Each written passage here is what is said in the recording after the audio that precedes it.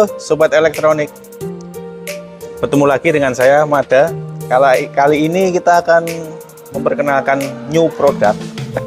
Besar banget kulkasnya. Kulkasnya besar Muatannya banyak Listriknya kecil tapi. Jadi nggak usah panik Nanti listriknya juga besar mas. Kecil karena udah inverter. Apa tuh kulkasnya ini? Jadi bagi pecinta big ref atau yang keluarga besar atau buat usaha kita kan butuh kulkas yang gede nih kapasitasnya. Kali ini punyanya Panasonic launching model set by set. Set by set itu kulkas yang pintunya kanan kiri. Yang sebelah kanannya adalah freezer kiri chiller. Seperti apa penampakannya? Ini guys. Model baru dari Panasonic dengan tipe NR SC631 dari depan dulu dia bahannya ini uh, silver stainless. Untuk modulnya sendiri dia letaknya di luar. Jadi kita kalau mau mengubah suhu tidak perlu buka kulkasnya pencet dari dalam sehingga udaranya keluar jadi angkatan lagi kan? Kita cuma pencet dari luar. Dan tipe modulnya sendiri dia udah touchscreen jadi tinggal disentuh aja dan ini touchscreennya benar-benar soft. Jadi ya nggak ribet lah nggak susah untuk ngaturnya Contoh nih, kita ingin mengubah mode refnya, ref itu yang sebelah kanan. Refnya sendiri dia bisa di angka 8 derajat. Sehingga ya dingin tapi nggak terlalu dingin banget. Atau mungkin bisa kita setel turun lagi, biar lebih dingin lagi di angka 2 derajat. Ini yang sebelah kanan untuk chillernya, untuk pendinginnya.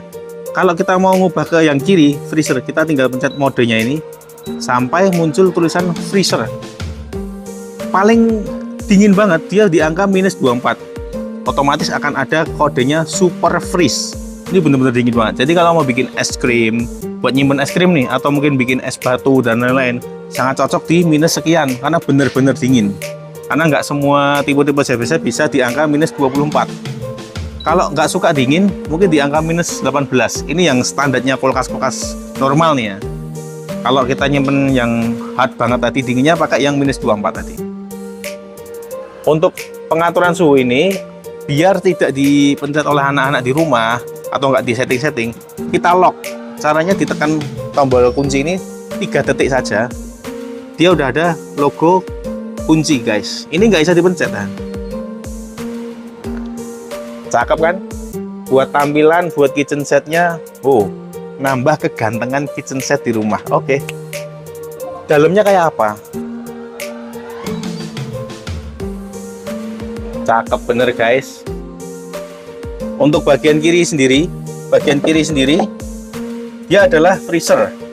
Full freezer. Jadi kalau kita nyimpen es krim daging-daging segar atau mungkin yang makanan beku frozen kita simpan di sebelah kiri.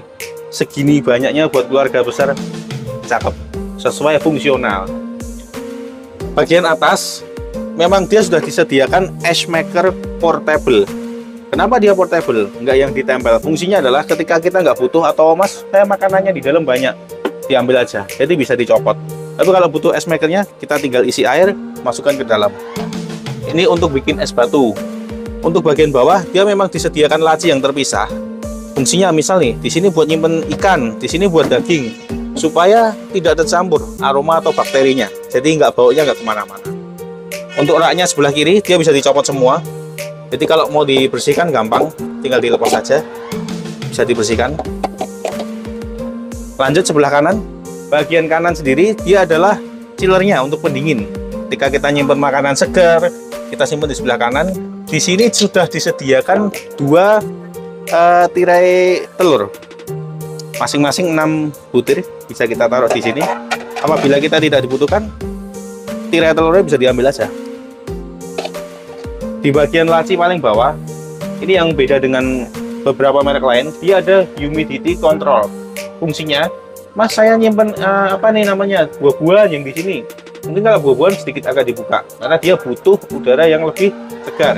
Tapi kalau kita nyimpen sayur dia butuh yang lebih kedap ditutup. Jadi ini nggak ada sirkulasinya. Benar-benar kedap sehingga sayur itu dinginnya dan kelembapannya tetap terjaga dan lebih fresh tahan lama. Fungsinya humidity control itu tadi di bagian kanan sebelah atas kita bisa lihat ada deodorizer.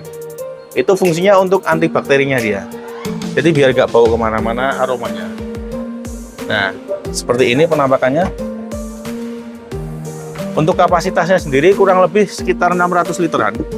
Dengan kulkasnya Panasonic tipe NR SC631 sudah inverter guys. Jadi nggak perlu khawatir. Mas nanti buat listrik saya uh, membengkak atau gede aman. Listriknya kecil. Untuk runningnya mungkin kira-kira di angka 170-an gimana? Penasaran harganya? Nggak mahal. Cukup sediakan. Ya mungkin angka 10 lah run rate-nya.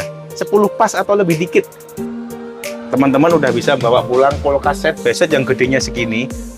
Jangan lupa kalau belanja di Candi Elektronik 153 Solo bisa dibayar kirim di rumah juga bisa. Untuk area Solo Raya kita free ongkir. Kulkas besar gini tetap dikirim free. Oke. Okay? Kurang lebih seperti itu review singkatnya. Terima kasih teman-teman. Jangan lupa like dan subscribe untuk dukung channel ini agar tetap maju. Terima kasih. See you.